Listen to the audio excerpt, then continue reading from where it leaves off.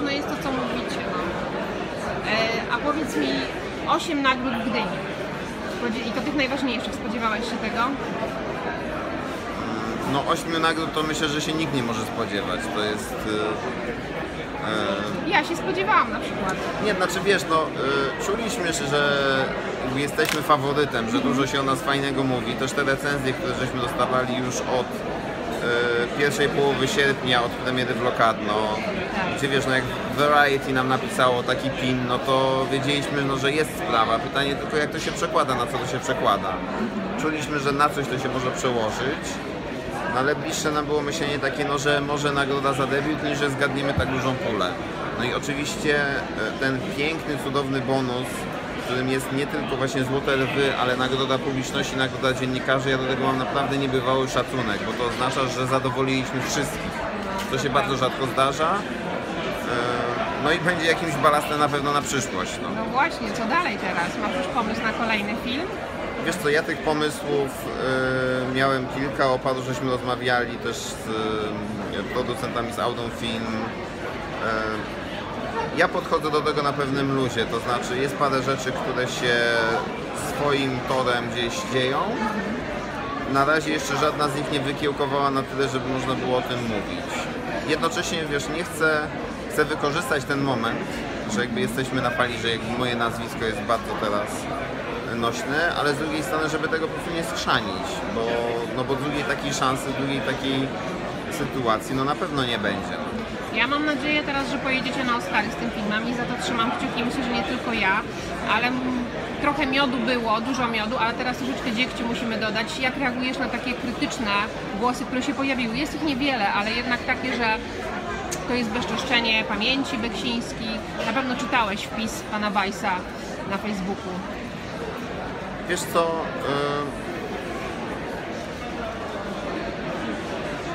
ja rozumiem, że można krytykować, natomiast sposób w jaki ta krytyka się odbywa y, no jest nie najprzyjemniejszy. W wielu przypadkach świadczy bardziej o tych osobach, które krytykują, bo te argumenty są e, czasami takie mam wrażenie jednak nieco mimo wszystko wysane z palca, bo albo ktoś nie rozumie na czym polega format, że tak powiem, pod tytułem film fabularny oparty na prawdziwych wydarzeniach. Koniec końców, niezależnie od tego, jak wielkie piny będziemy czytać na temat roli Andrzeja Seweryna w tym filmie, to zawsze to będzie interpretacja Andrzeja Seweryna postaci Zdzisława Beksińskiego. Tak? I po, to się interpretacja Dawida i to się przekłada na każdy aspekt. Podaję przykład Seweryna akurat, bo ten jest o wiele bardziej bezdyskusyjny, bo rozumiem, od samego początku wiedzieliśmy, że postać e, Tomka Beksińskiego jest postacią bardzo kontrowersyjną, ponieważ kojarzy się z bardzo szerokim wachlarzem emocji, od tych bardzo pozytywnych do tych bardzo negatywnych. E, Myśmy często rozmawiali o tym, że jest też taki trochę podział na zwolenników Zdzisława i zwolenników Tomka i tak dalej, i tak dalej. Ja z racji tego, że jestem daleki od myślenia e, o kinie na poziomie stawiania tez i oceniania kogokolwiek, mi zależało na tym, żeby zrobić film, który bardzo szeroko do tego podchodzi, po to, żeby każdy widz mógł sobie wyrobić e, opinię na ten temat.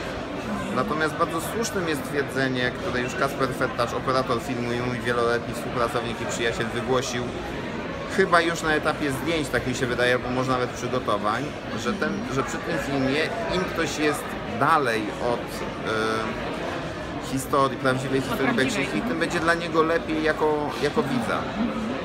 I, e, I to jest bardzo kluczowe tutaj. Chodzi o to, że kino ma przenosić pewne emocje, tak? A jeżeli ktoś idzie i odhacza sobie, czy na przykład Czy Tom- spojrzał krzywo, czy prosto, tak? tak, czy Tomek siedział z lewej czy z prawej strony w samolocie, w, który się rozbił, tak? I tak dalej, i tak dalej. No to znaczy, że nie do końca chyba rozumie na czym polega kino, tak? A ja nie mam, ja nigdy nie miałem, bardzo się tego pilnowałem i też zależało mi na tym, żeby i aktorzy, i cała ekipa miała takie poczucie, że my naprawdę nie krzywdzimy tych postaci. E, No i oczywiście boli mnie, że ktoś pisze, że postać Tomka zachowuje się w filmie jak idiota. No ja po prostu się z tym nie zgadzam. Natomiast też niespecjalnie mam ochotę wchodzić w jakieś polemiki na ten temat.